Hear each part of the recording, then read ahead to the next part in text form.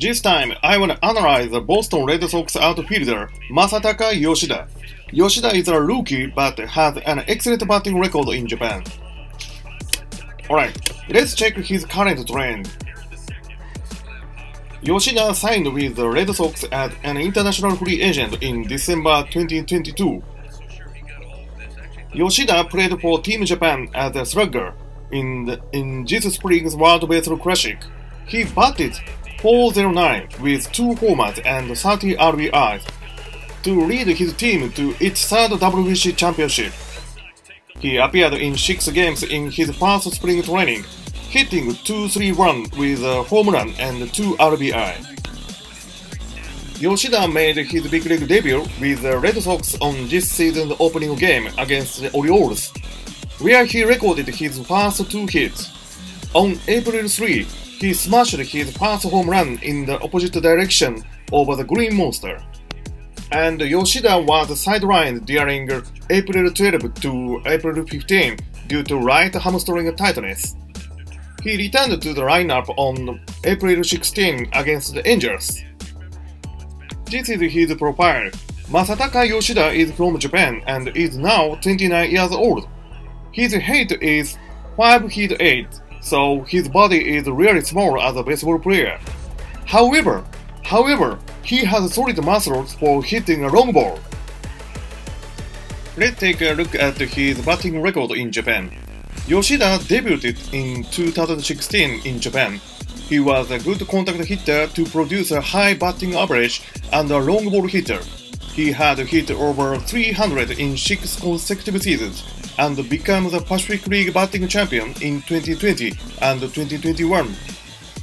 The critical thing to understand about Yoshida should be his OBP on base percentage. He recorded higher than 400 in six straight seasons especially his OBPs in 2020 and 2021 reached the middle of 4 points, so he has good eyes to take many walks and get rarely struck out. Next, it's a record in MLB. Yoshida still appeared in 30 games, hitting mainly cleanup. His current batting average is only 167, but I wonder he is struggling to hit because he missed several games due to right hamstring tightness, and his first season has just started. To look at his proper condition, we need to check some numbers like OBP, base on balls, and strikeouts. His OBP is relatively lower than his record in NPB. However, his BB percent, strikeout percent, and BBK have kept excellent levels almost the same as his record in NPB. Although Yoshida has yet to produce so many hits, he has been able to look at pitched balls carefully, not to think the pitched balls on the ball zone. Although he has a few strikeouts, so his batting timing is still intact, and he uses his natural ability if he gets used to MLB pitches, his batting average will improve. Here, I want to introduce how good Yoshida is. This is a comparison uh, between Yoshida and Ichiro Suzuki. Everyone knows Ichiro, a future Hall of Famer with 3089 MLB career hits. Yoshida's record in Japan's OBP, BB percent, and K percent categories were at the same level as an MLB legend Ichiro Suzuki. Alright, I'm gonna summarize Yoshida's current situation based on the SWOT analysis. Alright, first, let's look at his strengths. So, his strength is the high batting average. He can make good contact. Next is his high on base percentage. He has good eyes for picking many walks and doesn't swing for pitched balls on the ball zone. In the case of the Red Sox, their batting lineup was in good shape last year, but in the off-season, they released some excellent players like Xander Bogaerts. They only had a little success in reinforcing the team, except for Yoshida. they should be unsure if they can show the same offensive power this season as last year. So Yoshida is an excellent addition to the team. About his fielding, I don't get the impression that he is a really really good defender. However, he will be able to handle it well here in MLB, taking advantage of Fenway Park whose left field is small. It's not a weakness. About the physical condition, as I told you, uh, he's been sidelined with right hamstring tightness, uh, but he's been back on April 16th. As far as I see his swing, uh, there isn't much of a problem. He'll be able to play healthy from now on. About mental strength, he has good mental power. Yoshida has represented Japan in many international tournaments since he was a student.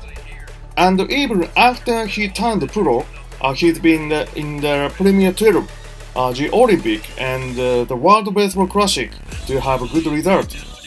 I'm sure he'll be able to produce good results even in a different environment like those short-time tournaments. Under a lot of pressure, he has a solid mentality. About arm strength, I don't think he has a strong arm, but the Red Sox home park is relatively narrow in the left field, so he will do well with it. He may need help if the away ballpark has a large outfield. What do you think of his utility?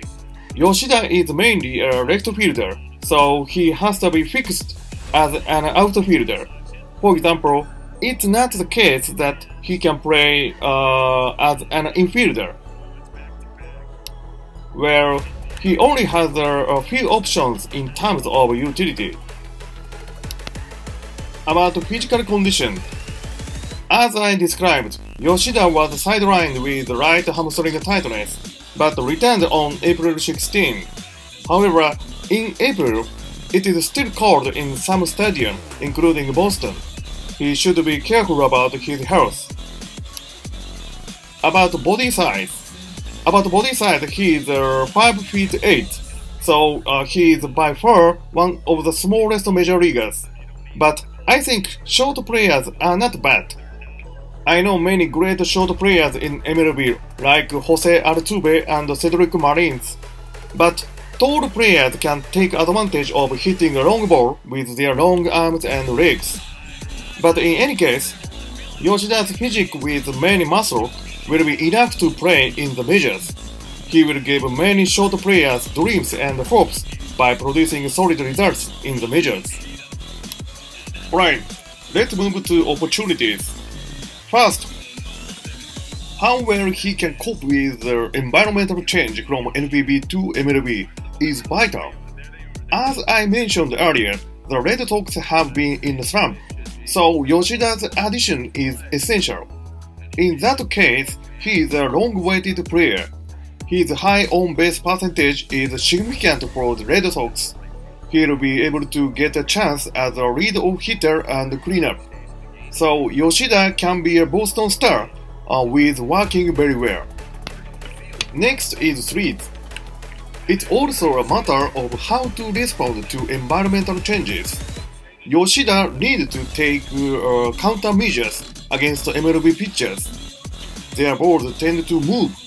Even their fastballs have a lot of movement. Although MLB pitchers throw faster balls than NPB, those circumstances can usually be sweet to Japanese hitters. His current batting average is low, however, as we looked at the data, he has reached bases by taking walks and not having many strikeouts. He sees pitched balls carefully because he is facing pitchers for the first time. His batting form and timing have remained intact. With his high batting skills, Yoshida will gradually improve his average if he gets used to MLB pitchers. I'm not too worried about him. Okay, today I analyzed Masataka Yoshida, a rookie of the Boston Red Sox. Good luck. Thank you for watching. Thank you, baseball.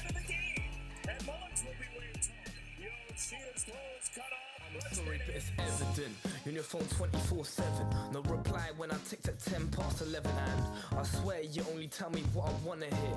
The real thoughts buried deep beneath the love and fears. I'm in a muddle, lost inside a.